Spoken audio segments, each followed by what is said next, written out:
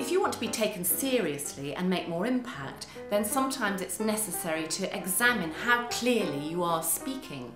And we're going to do this by breaking words down into their component parts, if you like, and start with the plosive sounds. Now, if you've ever been spat at and it's landed in your eye, somebody's probably done it on a plosive because they're made by two organs of articulation, two lips coming together a build-up of air behind and then an explosion as the p comes out. Now we do it with the two lips, we do it with the tongue and what we call the alveolar ridge just behind our teeth, t-d, p-b, lips, t-d, the back of the teeth, and then k-g, what's the, the, what we call the soft palate, the velar plosives at the back. So we've got p-b, lips, t-d, the ridge, the alveolar ridge, and then k, g, the velar plosives that are made at the back of the mouth. P, b, t, d, k, g.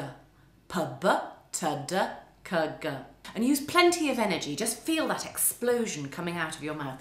P, b, t, d, k, g. Lovely. Now let's try them a bit quicker.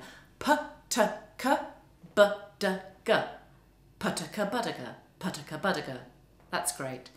Try these pairs of words. They're written out on the web page, so you don't have to remember them. I can't anyway, so I've got them written here. And uh, they make you work hard with your lips and your tongue.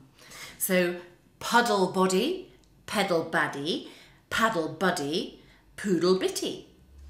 And battle putty, bottle pity, butter petty, bitter potty tenner dinner, toddy doddy, tally dollar, tuna dolly, diddy telly, daddy tufty, duty tiny, donny teeny. Now here's some for the kg, kettle giggle, kiddy gaggle, keeping google, cupping goggle, giddy cuddle, getty cubic, grotty kibble, gadding cattle.